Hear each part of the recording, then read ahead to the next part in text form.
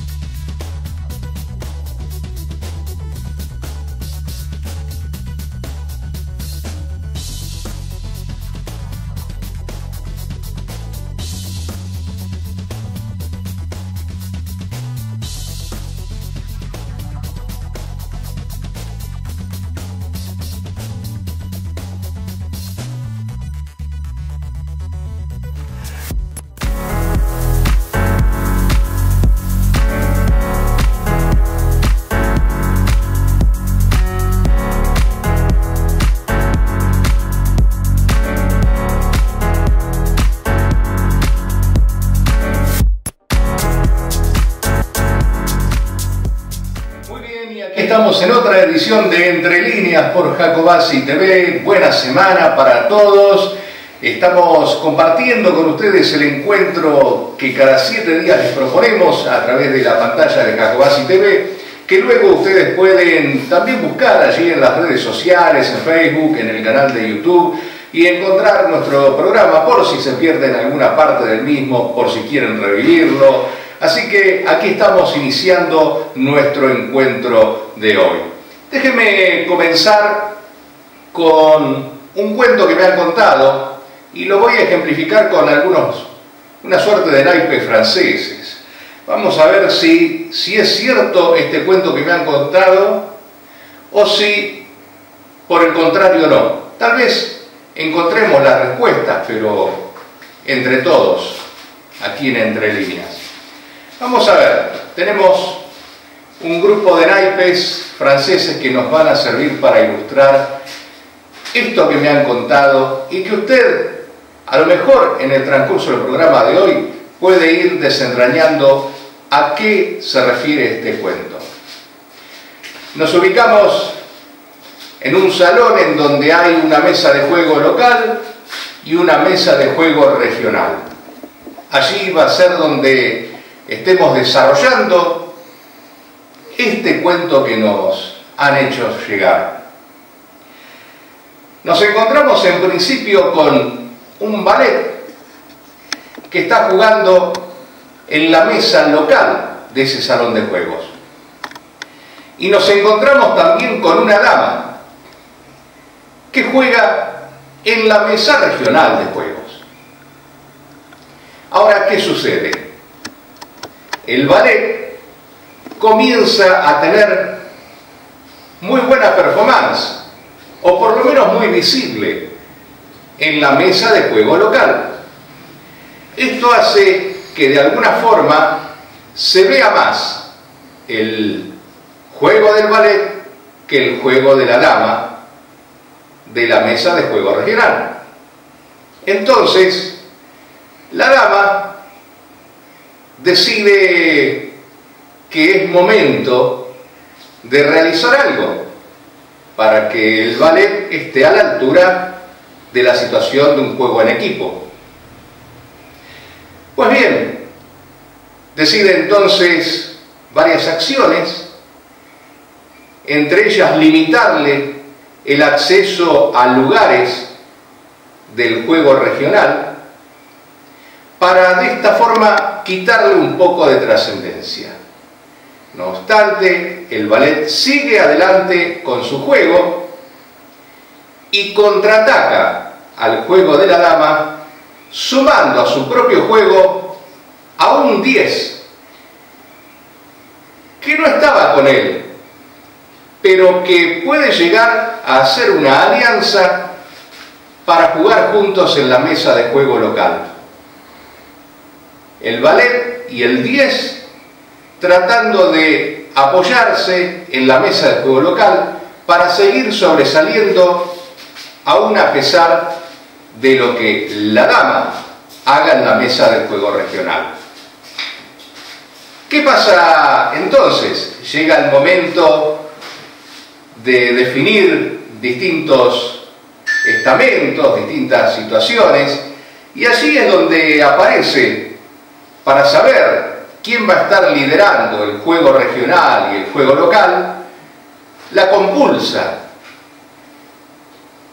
Aparece el número uno para el juego regional. Entonces, ese número uno para el juego regional es la oportunidad que ve la dama para correr del juego local al ballet, proponiendo sustituir el número uno por el ballet en este, en este juego regional, proponiendo sacar de la mesa local a la mesa regional al ballet. Esto no sucede porque aparece el rey y el rey dice que en la mesa de juego regional no va a estar ni el as ni el ballet, sino que va a haber otra dama que estará entonces liderando la mesa de juego regional. Bien, así las cosas, la dama que inicialmente movía las fichas en el juego regional, quiere también pasar al juego, a la mesa de juego local. Con lo cual no pudo apartar al ballet, entonces intenta, mediante alguna suerte de contacto, llevarse para sus huestes al número 10 que estaba junto al ballet. El número 10 dice no. Entonces, el número 10 fortalece su unión con el ballet en la mesa de juego local de caras a quedarse con esa mesa de juego. La pregunta es entonces, ¿qué hará el rey en este caso con la mesa de juego local? Porque ya definió la regional donde puso otra dama. Es probable que el rey también diga, vamos a buscar a alguien para la mesa de juego local. Y si esto no alcanza, tal vez el rey se mueva junto con otro rey para hacer algún tipo de alianza, algo más eh, sugestivo, algo más llevadero para ambos, que permita instalar otra persona, otro jugador, ignorado hasta el momento, en la mesa de juego local. Así las cosas entonces, todavía no sabemos quién es el jugador de la mesa de juego local, aun cuando ya sabemos quién es la dama que está en la mesa de juego regional y la dama que aspira también a estar en la mesa de juego local. Este es el, cuento que les traje y que tal vez en el programa de hoy, solo tal vez encuentre respuestas en ustedes. Y si no es así, esperamos que en sucesivos programas podamos ir develando esta incógnita. Lo que sí nos van a surgir preguntas a lo largo de nuestro programa de hoy, en base a esto que le he contado, para que lo tenga en cuenta. Vamos a hablar un poquito de lo que ha sucedido en, el orden de la provincia vecina de Neuquén. Allí se ha impuesto el movimiento popular neuquino eh, una vez más, en las elecciones provinciales.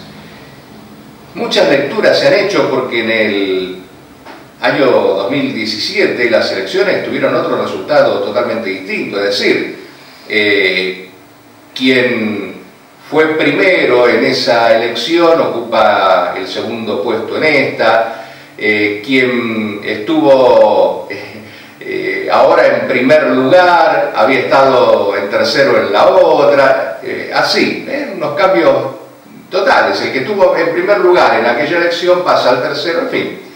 Eh, hubo cambios como para pensar que las elecciones del 2017 poco tienen que ver con las elecciones provinciales. Primer punto a tener en cuenta, se han revertido todos los valores allí en Neuquén. Eh, también, por otra parte, se sostiene que nada tienen que ver aquellas elecciones del 2017 que fueron nacionales a las próximas elecciones de octubre que también van a ser nacionales, por lo cual el otro pensamiento, la otra línea de pensamiento es que no tiene ninguna vinculación. Vamos a lo concreto. El movimiento popular neuquino saca el 39% de los votos allí en la provincia vecina de Neuquén, seguido por el justicialismo con el 26%, eh, la expresión de unidad ciudadana en, en Neuquén, y Cambiemos quedó lejos en tercer lugar. Pero lo interesante es la lectura que se hace, porque el movimiento popular neuquino hace una lectura en función de la cual dice la gente no quiere ni cambiemos ni kirchnerismo. Esa es la lectura que hace el movimiento popular neuquino, en donde sostiene que hay una suerte de reflotar partidos provinciales. Por otro lado, el justicialismo dice, no, esto nada que ver, hay que, hay que esperar a las elecciones de octubre que van a ser nacionales y que no tienen nada que ver con las elecciones provinciales. En medio de todo esto, ¿cómo se conforma el 39% de votos que tuvo el movimiento popular neuquino? A través de un sistema de listas colectoras. Usted sabe que hay varios sistemas en, en danza, en las elecciones provinciales, que difieren de una provincia a la otra, de un estado provincial al otro, de acuerdo a las reglamentaciones, a las legislaciones de cada uno de ellos. En Neuquén se usa o está permitido el uso de listas colectoras, es decir, el mismo candidato a gobernador va encabezando diversas, dos, tres, cuatro o cinco, como en este caso, listas que llevan luego distintos legisladores, distintos candidatos en otros estamentos. Pero todas llevan el mismo candidato a gobernador. Esto es lo que llamamos listas colectoras. Ahora bien, hay otro sistema, como el que se usa, se utiliza en Santa Cruz, en donde eh, se usa una suerte de ley de lemas, es decir, listas distintas con candidatos a gobernador distinto, pero que al estar dentro del mismo espacio le suman todos los votos al que más saca de ese espacio pero con distintos candidatos a gobernador. Estas son las dos alternativas que acumulan votos para determinados subespacios en distintas provincias, que son elecciones distintas a lo que serían las PASO, que son eh, las primarias, que son obligatorias y que, que tienen que ver con la conformación de alianzas y de partidos y ver allí quién va a encabezar la fórmula. O también decidir los puestos que siguen, cómo se van entremezclando, en qué proporción. Pero el caso de Neuquén, le decía, el 39% que vota al movimiento popular neuquino, en realidad lo hace junto a una estructura de colectoras con aliados. ¿Por qué? Porque el movimiento popular neuquino por sí solo no, no sacó ese 39% de votos, sino que sacó un 22% de los votos. El otro 17, que es un caudal grande, casi cercano al 50%, significó el triunfo del MPN en Neuquén, pero con otras opciones. No obstante esto, le suma muchas bancas en la legislatura neuquina al movimiento popular neuquino y sus aliados frente a eh, las otras coaliciones. Cambiemos y Unidad Ciudadana. Así que este primer test electoral que tenemos por aquí cerquita en la Patagonia ha dejado muchas opiniones, las que ya le comenté y alguna otra. Porque aquí en la provincia, quienes salieron a ponerse el saco de ese tipo de victorias de un partido provincial, fueron ni más ni menos que los eh, partidarios de Juntos Somos Río Negro. Porque dicen, ¿vieron cómo los partidos provinciales pueden ganar? ¿Vieron cómo hay una opción distinta a la polarización que se propone desde Nación? Y esto además fortaleció el espíritu de alternativa federal, que hasta ahora hace vislumbrar como una de las posibilidades a la baña con Pichetto, es una de las opciones que se vienen hablando. Otra de las cuestiones que tienen que ver con alternativa federal hace a esta suerte de acercamiento entre Sergio Massa y Lipchitz. En fin, hay distintas expresiones, pero que tienden a concentrarse en la misma opinión. Si en la Patagonia, como puede suceder, se alzaran con el triunfo en cuatro de las cinco provincias, partidos provinciales, esto haría obtener una mirada a nivel nacional en sentido favorable a una tercera posibilidad, es decir, abrir la postura aliancista que algunos dicen tiene el gobernador Beretilnet, hacia formar alguna suerte de apoyo para un espacio nacional, que bien podría no ser ni el kirchnerismo ni el macrismo, ni cambiemos, obviamente, ¿no? Así que esta elección en Neuquén ha puesto a mover todos los engranajes y a revisar encuestas y a revisar lo del voto electrónico, porque hubieron denuncias de irregularidades. Eh, así que una elección testigo la de Neuquén para seguir en los próximos días a ver qué repercusiones va teniendo en distintos ámbitos. Por lo pronto le he contado algunas de las que tienen que ver con la provincia de Río Negro y con el orden nacional y con la inserción de alternativa federal en la Patagonia. Así que, dadas estas cuestiones de elecciones provinciales Vamos a pasar a un tema que proponía en las redes sociales analizar en, nuestro programa de hoy. El plan Alquimia. Usted dirá, ¿de qué se trata este plan Alquimia? En principio, déjeme presentarle brevemente, para ilustrarnos simplemente, la tabla de los elementos periódicos.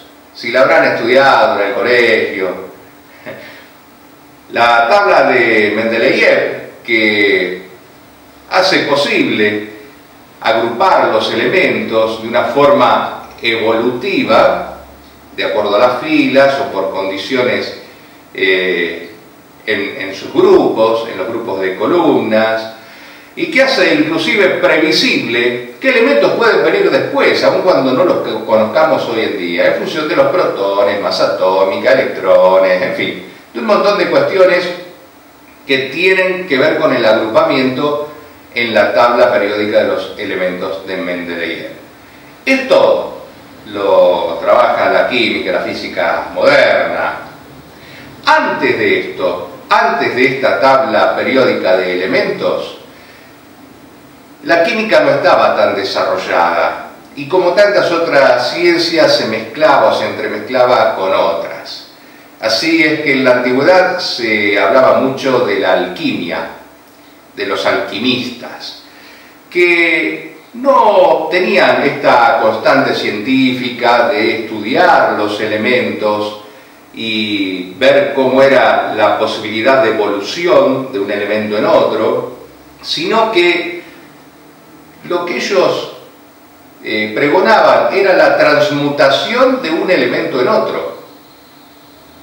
Y a partir de eso, lo que se llegó a denominar la piedra filosofal, que lo que pretendía en definitiva era encontrar ese, esa suerte de talismán que hiciera posible que cualquier otro elemento se convirtiera en oro. Por más pobre en esencia que fuera, se convirtiera en oro. Y yo quiero traer al programa de hoy el plan alquimia, porque es justamente eso. Es decir, cómo podemos ver que determinados comportamientos económicos parecen hacer realidad esto, que algo que es realmente pobre se convierta en oro. Le pongo un ejemplo para ilustrarle. Supongamos que usted tiene 210 pesos. ¿Los tiene? Eh, a lo mejor no, a lo mejor sí, todavía estamos cercanos al comienzo del mes, estamos casi promediando el mes, pero bueno, a lo mejor le quedan 210 pesitos. ¿Qué pasaría si usted estos 210 pesitos los coloca en algún lugar, así como simbólicamente los hago yo, los coloca en algún lugar, yo los voy a colocar aquí bajo el tapete, y esperamos así a que pase, no sé, eh, un mes. ¿Y qué pasa si yo saco luego del mes esos 210 pesos que tuve, que puse allí, y me encuentro con 65 mil pesos? Dígame si esto no es, más allá de quienes puedan sacar el loto, el kini 6 o lo que fuera, algún juego de azar, dígame si esto no parece obra de un alquimista. Poder convertir 210 pesos en 65 mil pesos en un mes. Algo de esto está sucediendo con nuestra economía. Algo de esto está pasando hoy en día. Y se lo voy a explicar muy sencillamente. Tiene que ver con el precio del dólar y con las LELIX, ese instrumento de financiación que el Banco Central entrega a los bancos para que con altas tasas de interés prefieran esos papeles de inversión antes que el dólar. Sucede que teóricamente el dólar es una divisa, es un bien transable como cualquier otro y debiera seguir el ritmo de la inflación, como cualquier otro elemento, o al menos en los papeles. Eso es lo que pretenden los grandes tenedores. En estos momentos, los grandes tenedores de dólares o los grandes tenedores del ELIX que ven que la tasa que tenían, que les habían ofrecido, en torno al 50%, 55%, ahí eh, moviéndose en esos valores, no se condecía con obtener una ganancia por sobre la inflación anual. Entonces, ¿qué pasó el jueves de la semana pasada? Cuando parecía, no sé, que venía la hecatombe económica. Yo le voy a contar qué es lo que pasó y va a entender por qué esto del plan alquimia. El dólar se mantenía medianamente estable hasta que alguien seguramente se le ocurrió esto no puede seguir así.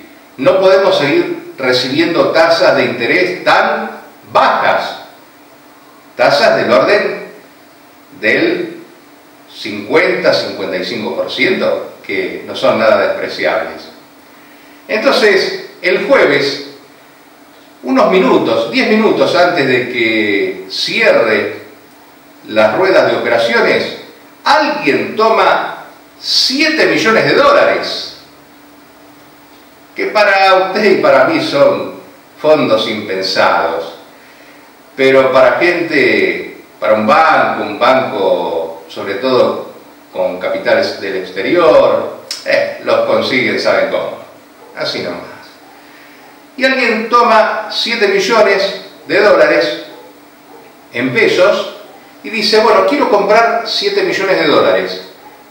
entonces fijan el valor de ese dólar en el precio de cotización máximo que llegó 43,50, tocó ese día jueves. Claro, esta operación con solamente 7 millones de dólares hizo que el dólar subiera un 3%. Vale decir que en realidad quien estaba poniendo esos 7 millones de dólares y se estaba arriesgando a perder en definitiva una cantidad de el 3%, hablamos 210 mil dólares. 210 mil dólares. Para usted para mí sigue siendo muchísimo plata, pero no para alguien que puede mover 7 millones y que sabe que después los va a recuperar. 210 mil dólares es lo que puede haber perdido esta persona si compra 7 millones de dólares a 43,50 y después el, el dólar retrocede a los valores anteriores. Pues bien, tenemos esa compra que marcó ese límite histórico del dólar, con lo cual el Banco Central de la República Argentina salió con urgencia a elevar las tasas de las DELIC nuevamente y las puso en, en, un nivel en la cual implicó una suba del 4%. 4% tuvo que subir las tasas de la LELIX para que el viernes el dólar volviera a sus niveles anteriores. No tanto, pero bajó. Para calmar el dólar, como se dice normalmente en los noticieros, en el periodismo económico. Recuerde usted, la pérdida habrá sido de 210 mil dólares. Ahora bien, usted se preguntará, ese 4%, bueno, el tema es que ese 4% no impacta sobre los 7 millones de dólares de esa operación, sino que impacta sobre el total de las letras de liquidez de las LELIX, que son casi 20 mil, son más, un poco más, de 20 mil millones de dólares. Las tasas de las LELIX, obviamente un 4% de eso, de 20 mil millones de dólares, porque cuando sube ese 4% afecta a toda la emisión de las LELIX. O sea, cuando hay que renovar todos estos 20 mil millones de dólares, estas LELIX se renuevan eh, con periodos muy cortos, entonces ese 4% se aplica a los 20 mil millones de dólares de LELIX. Este es el número real de existencia, estos 858 mil. Eh, el número cuesta hasta interpretarlo, 544 millones, casi un billón de pesos en Lelix, por eso lo expresamos como 20 mil millones de dólares, que es mucha plata. Le decía, el 4% de esas Lelix, de esos 20 mil millones, representan 800 millones de dólares de incremento de las tasas de interés. La cuenta es muy sencilla.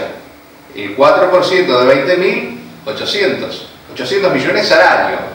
Quiere decir que en un mes estaríamos hablando de algo así como 65 millones, un poco más de 65 millones de dólares. A ver si me siguió con las cuentas quien inicialmente había perdido 210 mil dólares nada más, porque puso 7 millones y el dólar ese que lo puso a 43,50 bajó luego, perdió 210 mil dólares, inmediatamente al día siguiente generó un recupero para todos los tenedores del ELIX del orden de los 65 millones de dólares mensuales. Por eso, el ejemplo que le proponía al principio, que tal vez es el más sencillo de entender, si usted tenía 210 pesos, al mes se le transforman en 65 mil. Esto es lo que han logrado los bancos con solamente 7 millones de dólares, con un movimiento mínimo para lo que es el mercado financiero. lograron hacer subir 3% el dólar, con lo cual el 4% de las tasas que han subido del ELIX afectan a 20 mil millones de dólares. ¿Y sabe quién va a tener que pagar esos adicionales 65 millones por mes, además de, las tasas que ya se vienen pagando que son altas? Eh, ¿Cómo se dio cuenta? Usted y yo, a la corta o a la larga, porque es deuda del Banco Central con los bancos, porque hace que las tasas de interés de las tarjetas de crédito, de los préstamos, todo se mantenga más alto todavía, porque hace que haya menos dinero eh, en circulación, en fin, por un montón de cuestiones hacen la vida más difícil, para usted y para mí. Pero hay alguien que sale ganando con esto. Se dio cuenta, ¿no? Bueno, este es el plan alquimia. Con una muy poca cantidad de dinero lograr como un efecto boomerang ¿eh? o, un boom. ¿eh? Va y vuelve, porque lo que yo giré, eh, eso que, que, giré, esos 210 mil dólares que, que lancé, volvieron hechos 65 millones mensuales. Pavada de boomerang. bueno, este es el plan alquimia y esto es lo que está pasando lamentablemente en el país y a lo que vamos a estar sujetos en este año. ¿Por qué vamos a estar sujetos en este año a esto? Porque es un año electoral, porque es un año en el cual el dólar, eh, el gobierno va a querer que se mantenga en determinados niveles y cuando los mercados, los bancos quieran hacer que suban las tasas de interés porque no les conforman, y van a hacer subir el dólar con solamente 7, 8, 10 millones de dólares, lo hacen subir. Y el gobierno sube las tasas de interés con todo este ciclo que se llama carry trade o bicicleta financiera, como le guste, que hace que gane mucho dinero, principalmente los bancos, los grandes tenedores de fondos. Ese es el plan alquimia. Pasamos a un último tema antes de, de ir a la pausa y de presentar a nuestros invitados. Tenemos como invitados a dos grupos de, de gente que tiene que ver con Juntos Somos Río pero que anteriormente estaba en la Unión Cívica Radical. Me refiero a gente de los Menucos y gente de Comayo. Vamos a estar charlando aquí en un ratito más con algunos, con los intendentes de los dos municipios, de las dos comunas, y también vamos a estar charlando con algunos candidatos de Juntos Somos Río Negro. Juntos Somos Río Negro que usted habrá escuchado en, los últimos días, hizo la apertura de un nuevo local partidario y todos se preguntan, ¿qué pasa? Hay uno acá, otro allá, eh, ¿están tan juntos, juntos? Y habrá que buscar respuestas, habrá que buscarlas en distintas personas, allegadas a la conducción, y ver si esto es transitorio, si es una cuestión más de fondo. Por lo pronto, a mí me gustaría responder a, o que me respondan algunas preguntas, y de hecho eh, comprometieron estar aquí visitándonos en alguna oportunidad, los concejales opositores de Ingeniero Jacobasi, Joel Córdoba y Hugo Arroyo. Hace escasos días, los concejales Córdoba y Arroyo conformaron un interbloque, unidad jacobacina, y esto deja abiertas muchas preguntas que uno quisiera responderse, y nada, nada mejor o nadie mejor que ellos para que lo hagan. Así que esperemos contar en algún próximo programa con la presencia de los concejales para que nos den respuestas. Por ejemplo, eh, queremos saber si esto implica, este interbloque implica una fórmula ya hacia las próximas elecciones municipales. ¿Será esta la fórmula? Candidato a intendente y a presidente del consejo, tal vez. Eh, ¿Será probable que el Frente para la Victoria acepte postular a un intendente que venga de otro espacio político?